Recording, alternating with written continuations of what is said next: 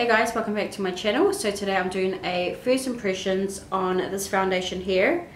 Um, this is called the Dermacol Film Studio, oh no, sorry, it's not called that. It's called Dermacol Makeup Cover. Um, and I think it's actually supposed to be like just a cover up slash concealer, but a lot of people are using it for foundation. So this is what it looks like, and this is what the box looks like. Let's put it up there, if you can see that.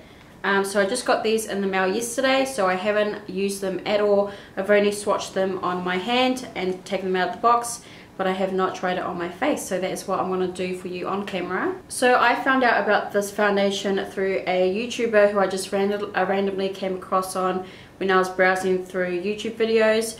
I can't remember what her name is because I don't really, I don't usually watch her, but I'll try and find the video and link you down below. And she compared it to the Marc Jacobs Remarkable Foundation. So if you guys have never tried that foundation, that is pretty much the fullest coverage foundation I've personally ever tried. So I'm going to start off with the Dermacol foundation first and I'm going to apply it on this side and then I'll do the Marc Jacobs later on this side. Now I have to mix two shades together because I done swatches. One was a really nice yellow tone but it was too light for me and then the other one was a nice, uh, had nice depth and it was nice and dark for me but it was a bit more on an orange undertone. So I'm to have to mix two. So it comes in a squeezy tube. It's 30 grams which is pretty much like the same size as every other foundation um, and then I'm just to squeeze it onto the back of my hand. It's very, very thick and creamy, so I doubt I need a lot. Just going to put a little bit there. So I'm just to mix those two together. Alright, so I've got nothing on my skin, no primers, no nothing, just straight bare skin. And I'm just going to... Wow, that's really thick. That feels so thick on my face right now. I'm fine with thick. I like thick. The brush I'm using to apply it is the Real Techniques buffer brush. I love this um, brush and I use it mostly for like my really full coverage foundations which is pretty much every foundation I have. I'm going to start blending that out. It blends out very easily.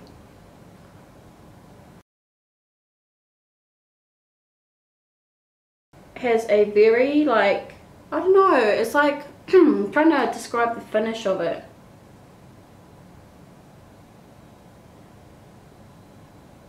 It's not like completely matte, like when you look at it you're not like, oh that's like pretty matte. It's not matte at all, but it's not like super shiny. It just has like a really nice, I'll probably just say satin finish to it.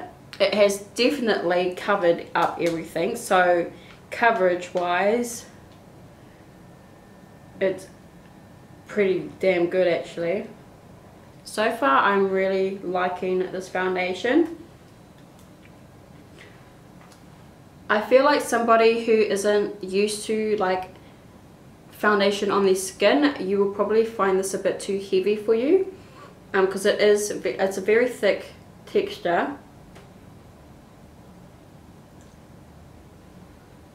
But it's made my skin look like super flawless. And I'm all about that full coverage life, so this has got thumbs up from me for coverage wise. Really like the finish. It's very creamy. It's not too matte, um, but it's not like super shiny. We have to see like how long it lasts on my skin. Um, but so far, it's actually, I really like it. Super flawless.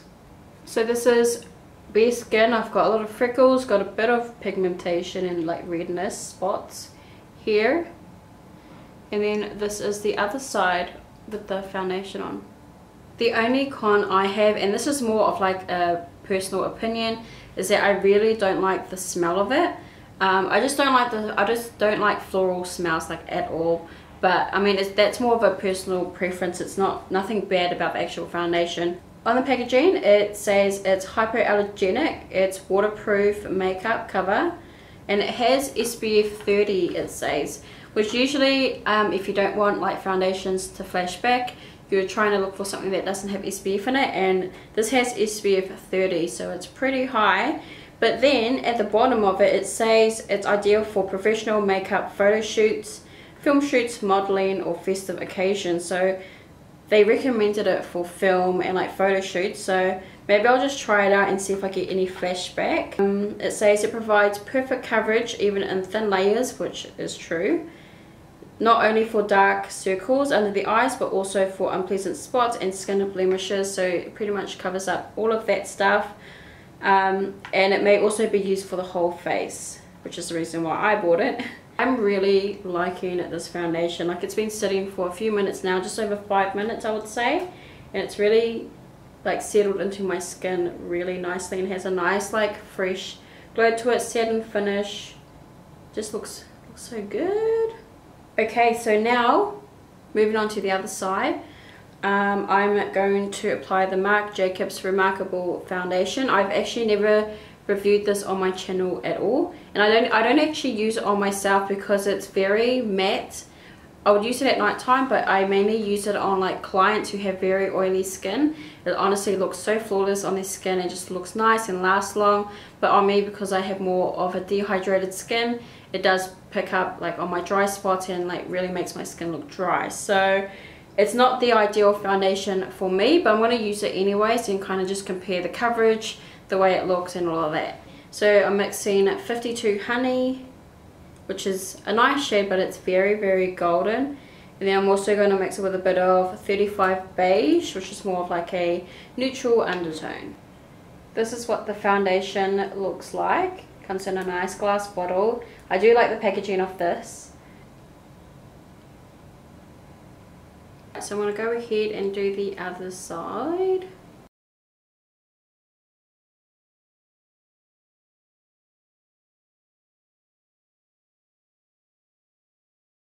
Alright, so the obvious difference between these foundations, colour looks better, is that the Marc, the Marc Jacobs Remarkable Foundation is still provides a very full coverage finish, same as the other side, but just the formula is different, like it's much more like thinner, like the formula itself is much thinner, it's not like thick or creamy, so it does feel a little bit more lighter when you're applying it. Like you don't feel like you're applying like a very full coverage foundation even though it looks like it but it doesn't feel like it. So that's the obvious difference between these two foundations both of these foundations a super high coverage I don't think one is more full coverage than the other I think they are both exactly the same so I'm just checking out prices of how much I paid for both foundations um, I already know it's going to be a huge difference because the Marc Jacobs is like hella expensive. So here we go. For the Dermacol foundation, which is this one, and it's the same, you get the same amount of product, it's 30 grams. I paid $14 for this foundation, $14. So I'm just jumping on to Sephora. This is in Australian dollars because I live in Australia, so this is the price that I paid here. And for Marc Jacobs, get ready guys, for the Marc Jacobs foundation, I paid $79. 79 bucks compared to $14. That is a big gap. I don't know why I buy it. Actually, no, I know why I buy it because I used it in my kit. I just, I really like the foundation. Well, I love the foundation. Like it's really flawless, full coverage and looks amazing on everyone with oily skin um, but just $79 that's so expensive okay so I'm going to do a quick comparison overview so Marc Jacobs on the side the Remarkable foundation and Dermacol makeup cover on the other side. So first difference is obviously the packaging. You get 30 mils in here and 30 grams in here which is pretty much like the same amount of product except the Marc Jacobs is a lot bulkier packaging def definitely more luxurious looking. And then sorry if I'm going out of focus and then the Dermacol is very small it's more compact uh, probably more travel friendly because it's more in a squeezy tube where this is more of a glass. So if you were to drop it on concrete or something it would smash where this one is a little bit more travel friendly nice and compact uh, perfect for makeup artists who like travel to do makeovers and stuff.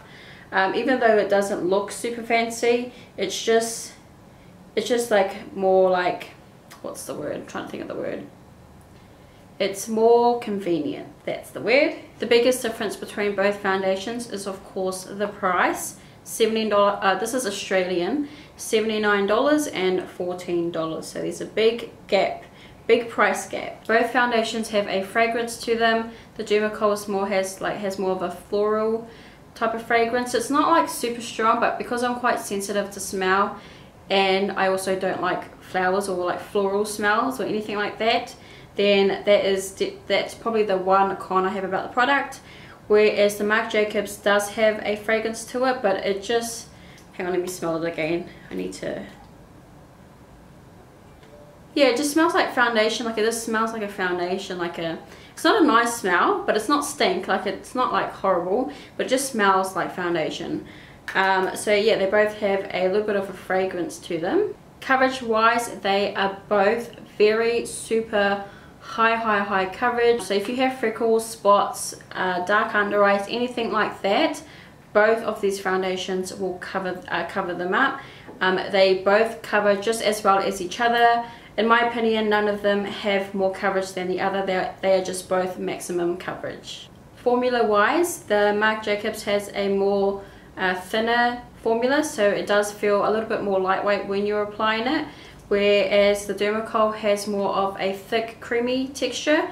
So only you have to like literally apply just a little bit a little bit a little bit and really work it across the face um, and that will cover everything. So it's important not to apply too much otherwise it's going to look very thick and feel thick and all of that. So the Marc Jacobs foundation has a matte finish and I did mention earlier that I use it on clients which is perfect for oily skin types. I just find it's the best foundation I have for oily skin. And I always get like a lot of feedback every time I use that on clients.